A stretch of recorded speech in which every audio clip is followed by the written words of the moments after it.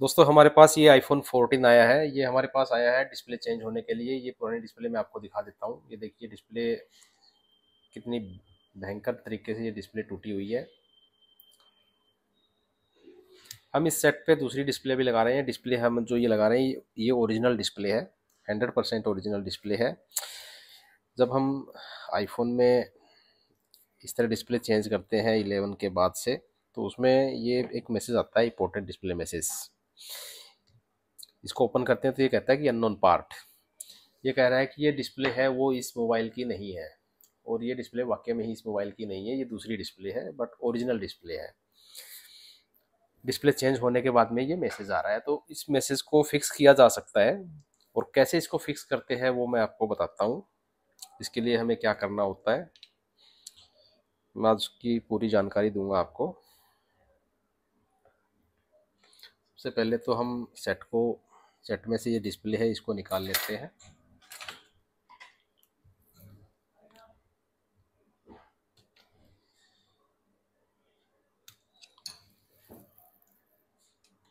इसको हम साइड कर देते हैं अभी। ये पूरा फंडा क्या है, मैं आपको समझाता हूँ। जैसे ये सेट की डिस्प्ले है, इस सेट से जो डिस्प्ले उतारी है, और ये वाली जो डिस्प्ले है, ये ओके डिस्प्ले है नई ओरिजिनल डिस्प्ले है। किसी टाइप का आप देखिए, कोई इनमें डिफरेंस नहीं है। तो डिस्प्ले अननोन पार्ट आने का एक रीज़न है सबसे पहले तो वो बताता हूँ कि कंपनी ने सेट में जो ये डिस्प्ले लगाई है, और डिस्प्ले के ऊपर यहाँ देखिए आप, इन्होंने दो आईसियाँ दी है। तो ये जो आईसी है, ये वाली, इसकी टच की आईसी है। इस टच आईसी में इन्होंने सिक्योरिटी डाली हुई है, जो कि सीपीयू के साथ कंबाइंड होती है। अगर हम इस पार्ट को चेंज कर देते हैं, जैसे कि ये दूसरी डिस्प्ले इस पर लगा देते हैं तो ये जो आईसी है, उसका जो सिक्योरिटी का जो डाटा है, वो मिसमैच हो जाता है और ये आता है कि अननोन पार्ट शो करता है ये। अगर हम इस आईसी को, ये वाली जो आईसी है, जो न्यू डिस्प्ले है, इसको ओल्ड डिस्प्ले की आईसी से रिप्लेस कर देंगे तो ये मैसेज नहीं आएगा। थोड़ा डिटेल में आपको बताऊँ तो ये नई आई डिस्प्ले है जिसपे ये कह रहा है कि अननोन पार्ट है। इसमें से हमें ये आईसी उतार देनी है और पुरानी जो हमारी ये डिस्प्ले है, टूटी हुई जो डिस्प्ले, ओरिजिनल जो सेट के साथ की डिस्प्ले है, कंपनी से जो लग के आई है, उसकी ये आईसी उतार के और नई डिस्प्ले पे लगा देनी है। तो इस पूरी प्रोसेस को मैं आपको करके दिखाता हूँ कि कैसे इसको करना है। दूसरा, इसमें एक ट्रूटोन का मैटर होता है। ट्रूटोन मैंने पुरानी डिस्प्ले से नई डिस्प्ले पे पहले ही रीड राइट कर दिया है। उसका वीडियो नहीं बना पाया, मेरे ध्यान से निकल गया था वो। इस आइस इस डिस्प्ले से, नई डिस्प्ले से हमें ये आईसी निकालनी है। इसको हम सेफ्टी से कैसे निकालते हैं, सबसे पहले तो आप वो देखिए।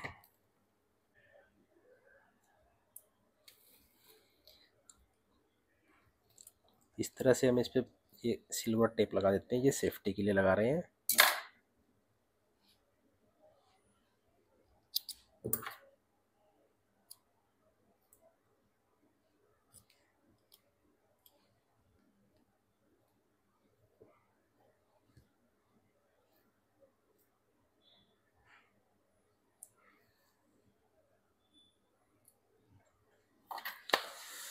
अब हमें क्या करना है?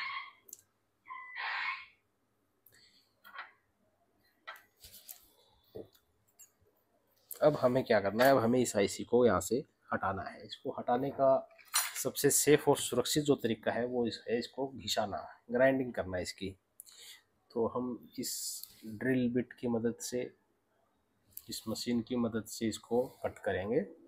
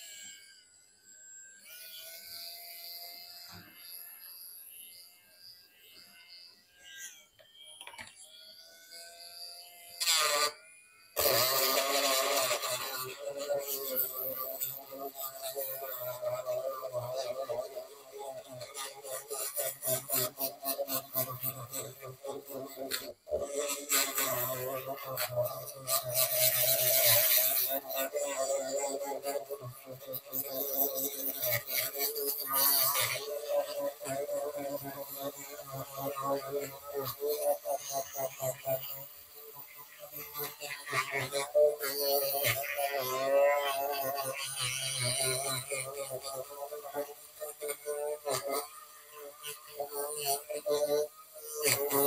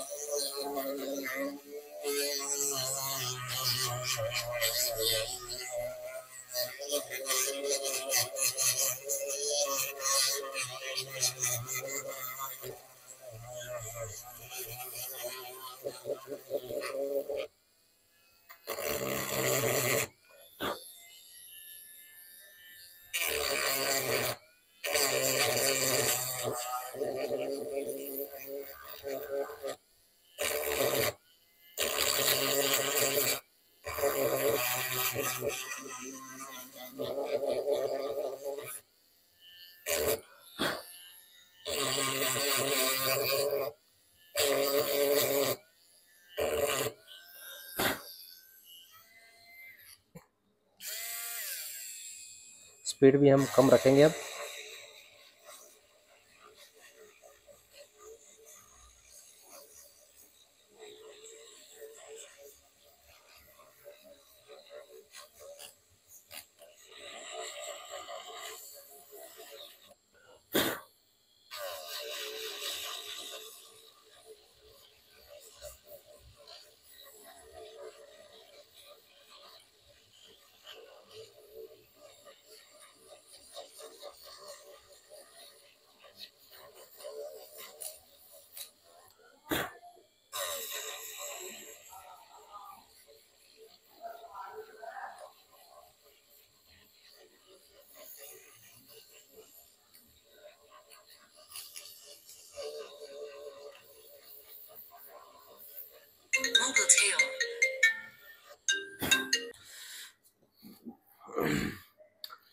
अभी हमें काफ़ी सावधानी से काम करना पड़ेगा।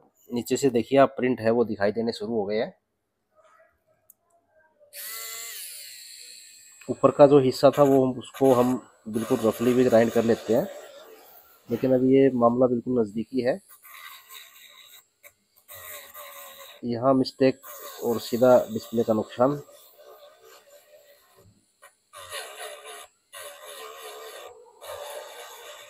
इसमें हमें जो हमारी ग्राइंड मशीन है इसकी स्पीड कम से कम रखनी है।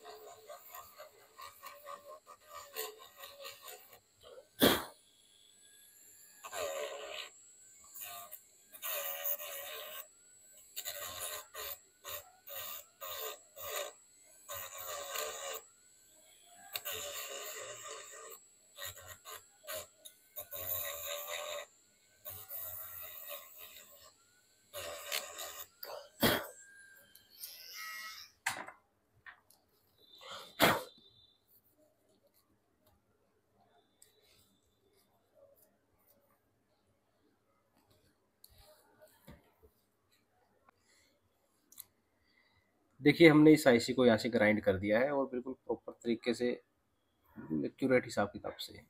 किसी तरह का कोई कोई मिस्टेक कुछ भी डाउट यहाँ नहीं है। अब इस डिस्प्ले को हम एक बार साइड में रख देते हैं। नेक्स्ट हमें क्या करना है? ये जो हमारी पुरानी जो टूटी हुई जो डिस्प्ले है, इस डिस्प्ले से हमें ये जो टच आईसी है, ये निकालनी है और नई डिस्प्ले पे लगानी है। इसको निकालना। कैसे है वो भी मैं आपको दिखा देता हूँ।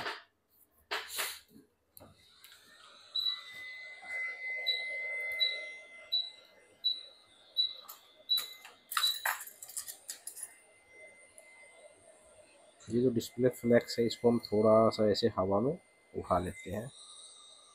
ये डिस्प्ले ख़राब है तो इस पर हम कैसे भी काम कर सकते हैं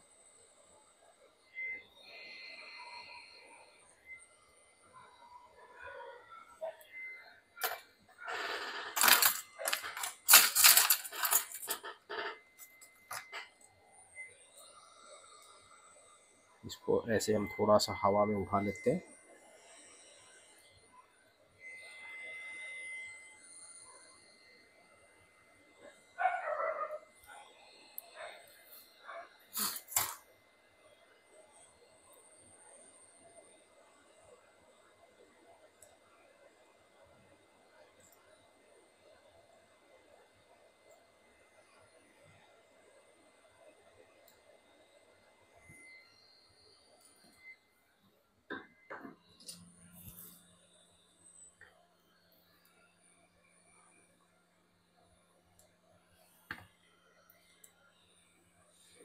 ये ऐसी हमने अलग कर ली।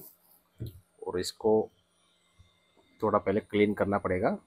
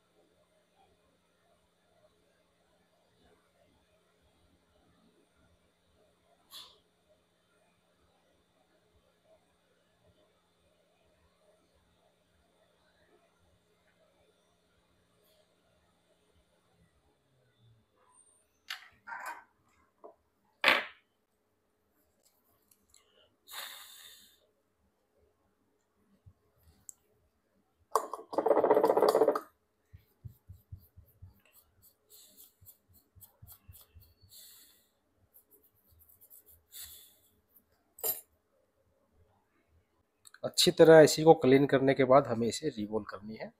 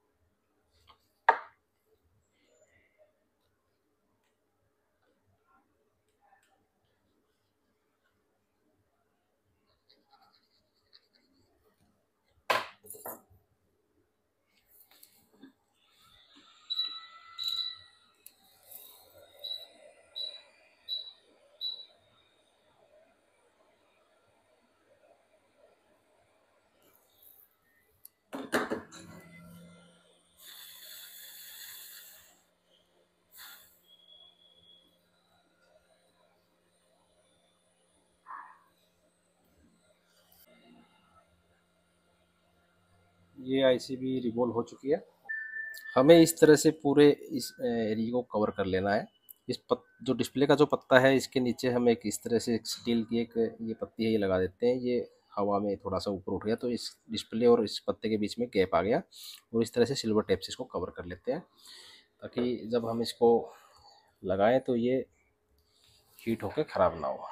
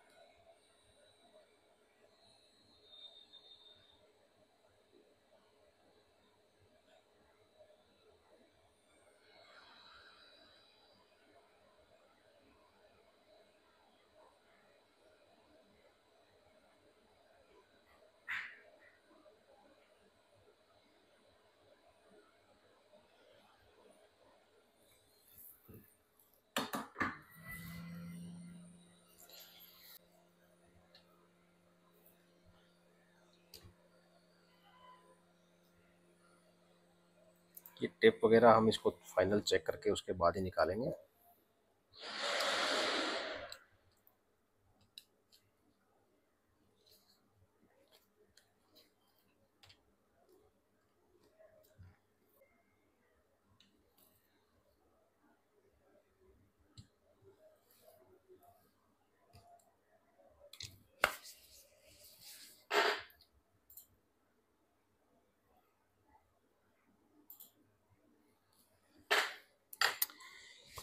चलो जी, फ़ोन चालू हो गया और अब सबसे पहले तो हम इसकी टच चेक करेंगे कि प्रॉपर वर्किंग में है क्या। क्रशर को हम हर जगह घुमा के देखेंगे।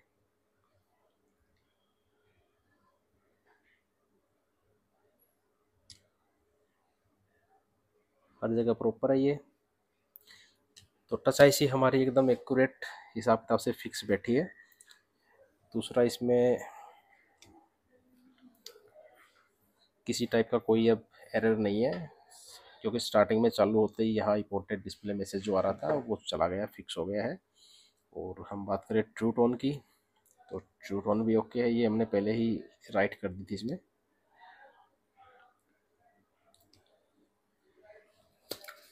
अब ये फ़ोन बिल्कुल ओरिजिनल फ़ोन तैयार हो चुका है। दोस्तों, हमारा काम कैसा लगा आप हमें कमेंट कर ज़रूर बताएँ। हमारे वीडियो को लाइक शेयर ज़रूर करें।